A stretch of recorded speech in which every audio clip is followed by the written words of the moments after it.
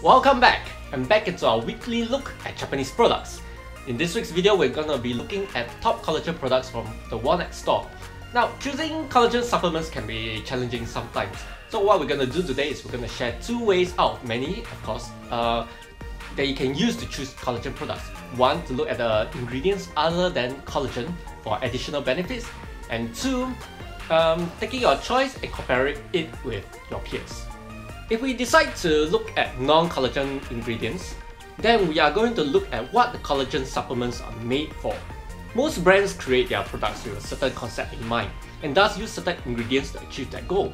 So you can find supplements that are made for stronger moisturizing effects, better absorption, um, focus on natural collagen production, anti-aging, etc. etc. Of course, collagen is involved in all, but we should be asking in which area do we want an extra boost? These are some ingredients that are popular right now. Proteoglycan is arguably the most popular ingredient in Japan right now because it is known to be more moisturizing than hyaluronic acid.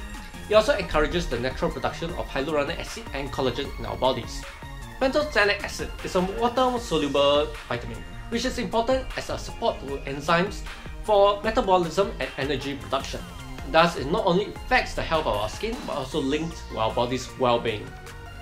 Now, low molecular collagen is not quite other ingredients, but we will want low molecular for better absorption by our body. Coenzyme Q10 is essential in creating energy in the human body. The lack of it will eventually lead to fatigue easily, thus affecting our well-being again.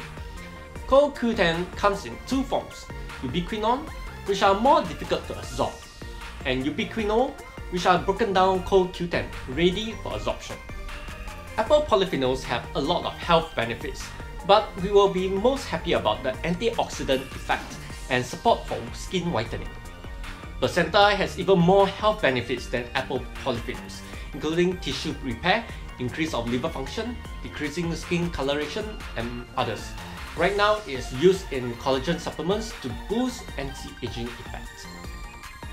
Of course, another way we can choose collagen is by looking at trends suggested by people who have done their own research. On the wall next door, these are the top 7 collagens based on sales, which are good as a starting reference. And if you have been a long viewer of this channel, which we salute you, you will have seen these collagen supplements before too.